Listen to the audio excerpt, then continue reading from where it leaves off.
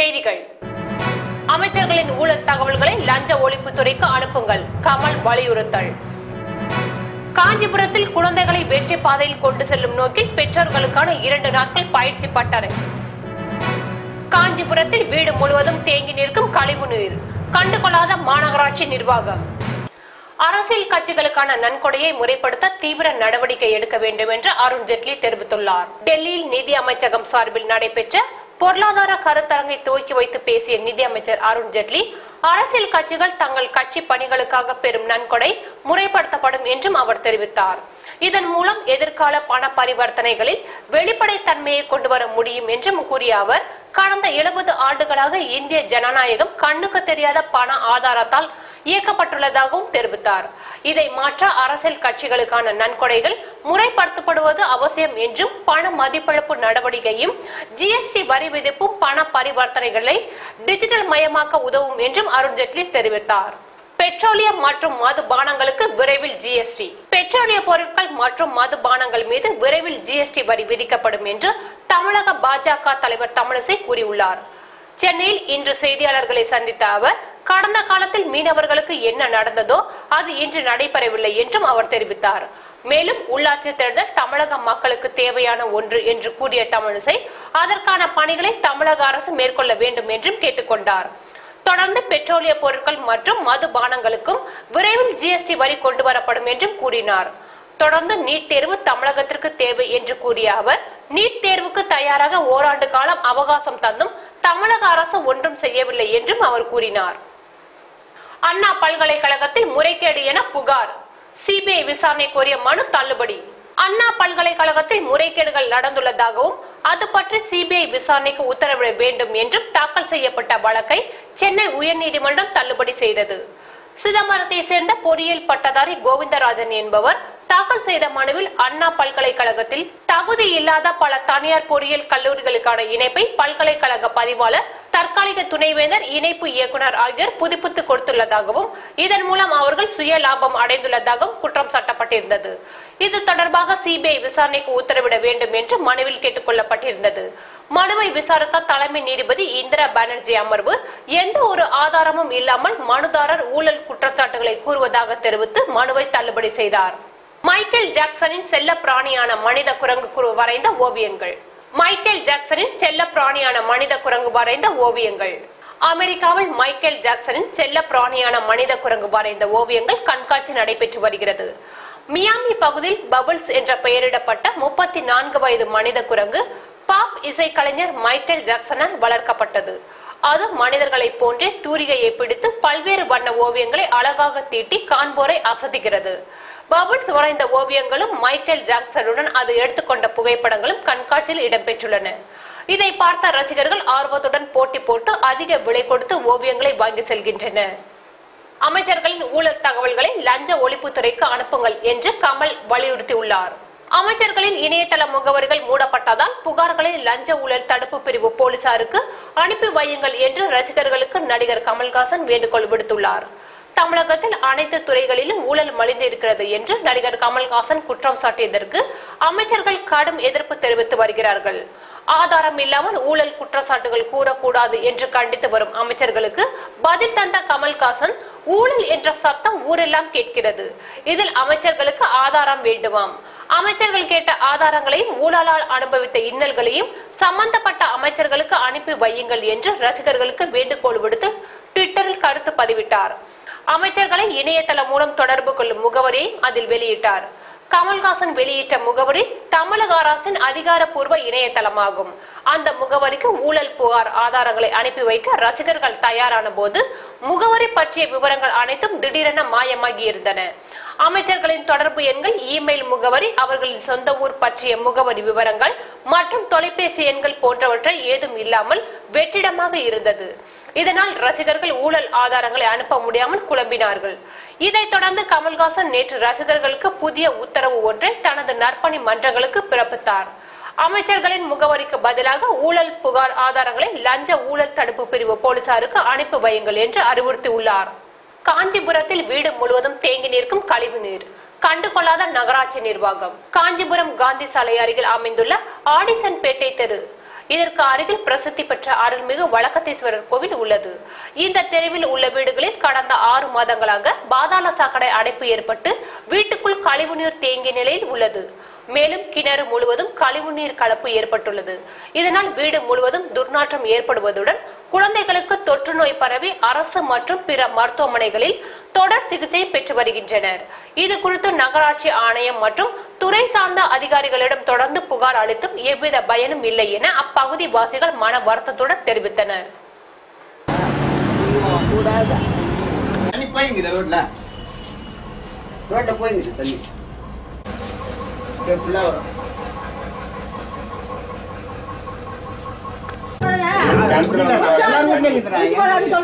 நாலஞ்சு பேரை சொல்லிட்டு வந்தோம் சொல்லிட்டு தான் வந்தோம். அவங்க எதுவும் இல்ல சொல்றாங்க சொல்றாங்க செய்யறாங்க அன்னைக்கு கூட வந்து போட்டோ நாங்க வந்து. கவுன்சிலர் வந்து போட்டோ கவுன்சிலர் வந்து போட்டோ பிடிச்சி போனாரு கவுன்சிலர் இருக்கிறோம் இங்கே வந்து ஆடிசன்பேட்டை செட்டித்தெரு வாழ்க்கை திசு கோயில் பக்கத்தில் இருக்கிறோம் நாங்கள் இந்த மாதிரி தண்ணி தேங்குது எல்லார் வீட்லேயுமே தண்ணி தேங்குது. குழந்தைங்கலாம் இருக்குது கொசு ப பயங்கரமாக இருக்குது. கொசுவால் குழந்தைங்கள்லாம் ஒரு ஜுரத்தில் பட்டுன்னு எல்லாம் ஹாஸ்பிட்டலில் சேர்த்து வச்சுருக்குறோம். நாங்கள் வந்து கிணத்துல வந்து தண்ணியும் மொல்ல முடியல. கிணத்துல ஃபுல்லாக தண்ணி இந்த கா காவா தண்ணி வந்து கிணத்துல போகிறது ஒன்றும் போ இது இல்லை. நகராட்சியில் போய் சொன்னோம் நாங்கள் எந்த நடவடிக்கையும் எடுக்கவே இல்லை எங்களுக்கு வந்து என் பேர் தேவிங்க. காஞ்சிபுரத்துலேருந்து பேசுகிறேன் நான். செட்டித்தேர்லேருந்து இருக்கிறாங்க. அந்த மூணு மாதம் தண்ணி என் வீட்டில் காவா தண்ணி தேங்கினே இது. நாங்கள் எல்லாரையும் சொல்லிட்டு தான் வந்து கவுன்சிலரையும் பார்த்து சொல்லிட்டு வந்தோம். முன்சார் ஆஃபீஸரையும் கவுன் முன்சார் ஆஃபீஸையும் சொல்லிட்டு தான் வந்தோம். அவங்களும் வந்து நடவடிக்கை எடுக்கிற எடுக்க சொல்கிறாங்க இதுவரை வந்து எந்த நடவடிக்கையும் எடுக்கல. பார்த்துட்டு பார்த்துட்டு போகிறாங்களே இதை செய்கிறோமா செய்கிறோமான்னு சொல்கிறாங்களே இன்னும் செய்யவும் இல்லை. அதனால் எங்களுக்கு குழந்தைங்களுக்கும் உடம்பு சரியில்லாத ஆகி நாங்கள் ஹாஸ்பிட்டலில் அவங்க கைமா அழிஞ்சினே இருக்கும் இந்த மாரி மூணு மாதம் இருந்தால் நாங்கள் என்ன தான் பண்ணுறது எத்தடி எவ்வளோ தான் நாங்கள் இருக்க முடியும் நாங்கள் எங்களால் இருக்கவே முடியல. குழந்தைங்களாம் இதுலேயே உடம்பு சரியில்லாத போகுது எங்களுக்கு. எட்டு வருஷம்லாம் சொல்லிட்டு வந்தாலும் கேட்க மாட்டேன்றாங்க. அதை பார்க்குறமா அதமா செய்கிறமான்றாங்க சொன்னால் எடுத்துகிட்டு போகிறாங்க திருப்பி தண்ணி கேவா தண்ணி வந்துனே தான் இருக்குது. எவ்வளோ நாள் நாங்கள் பொறுத்துட முடியும்? எங்களால் இதுமாரி தாங்கவே இருக்க முடியல எங்களால். என் பேர் தேவிங்க. காஞ்சிபுரத்துலேருந்து பேசுகிறேன் நான். செட்டித்தேர்லேருந்து இருக்கிறாங்க. அந்த மூணு மாதம் தண்ணி என் வீட்டில் காவா தண்ணி தேங்கினே இது. நாங்கள் எல்லாரையும் சொல்லிட்டு தான் வந்து கவுன்சிலரையும் பார்த்து சொல்லிட்டு வந்தோம்.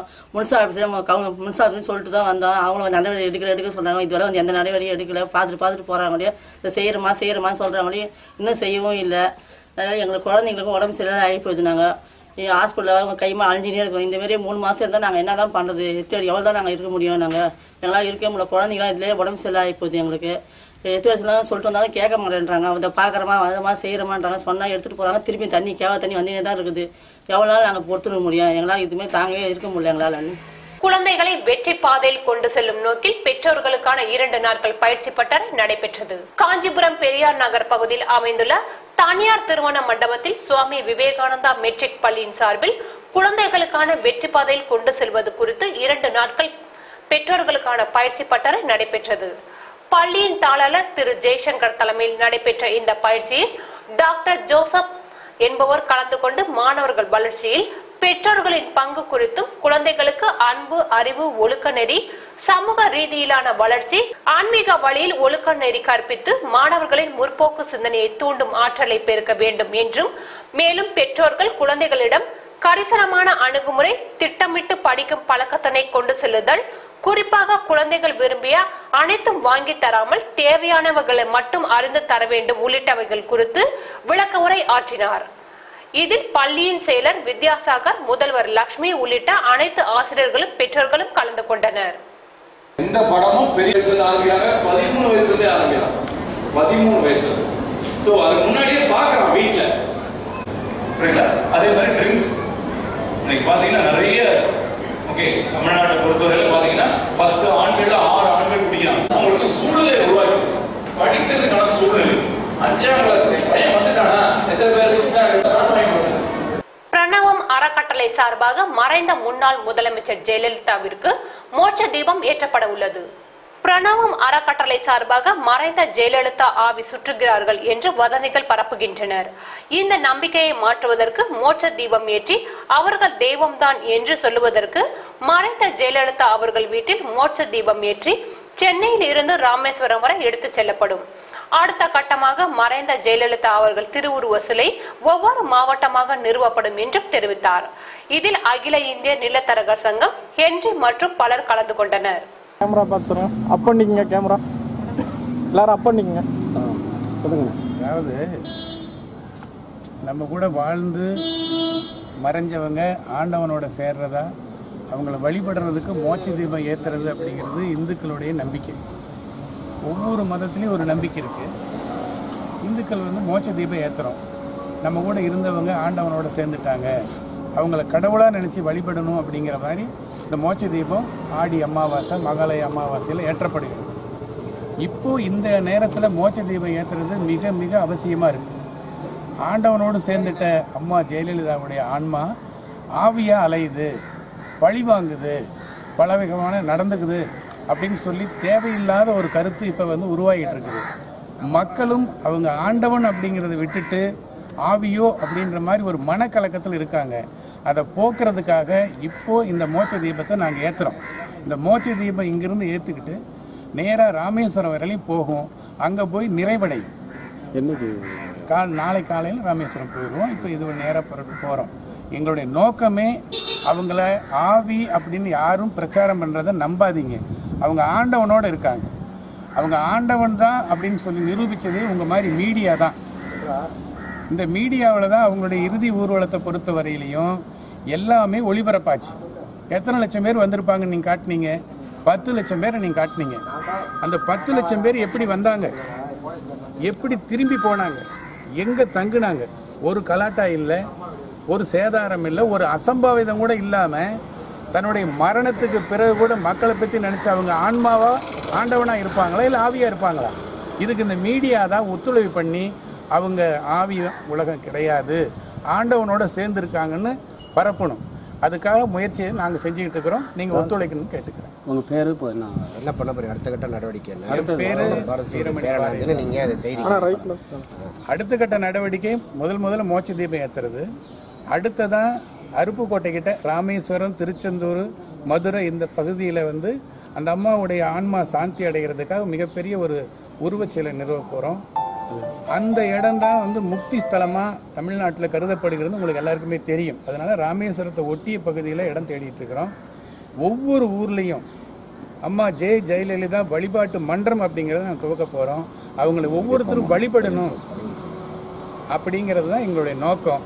அவங்கள கடவுள் கடவுளுடைய அந்தஸ்தை பெற்றவங்க அப்படிங்கிறத நாங்கள் நிரூபிக்க போகிறோம் ஏற்கனவே நீங்கள் நிரூபிச்சிருக்கிறீங்க. அடுத்தபடியாக நாங்கள் முயற்சி பண்ணிட்டு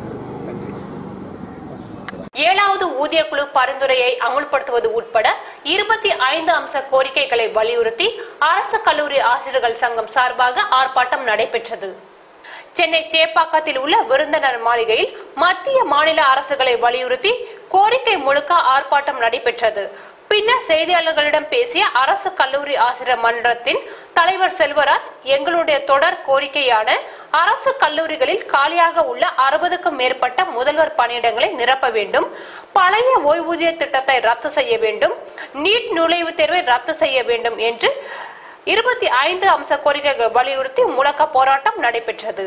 இதில் ஐம்பதுக்கும் மேற்பட்டவர்கள் கலந்து கொண்டு கோஷங்கள் எழுப்பி ஆர்ப்பாட்டம் செய்தனர்.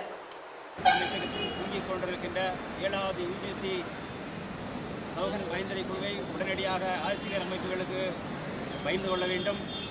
உடனே அதை அமல்படுத்த வேண்டும். தமிழக மக்களின் நலனை பெரிதும் பாதி- பாதிக்கின்ற நீட் தேர்வை ரத்து செய்ய வேண்டும்.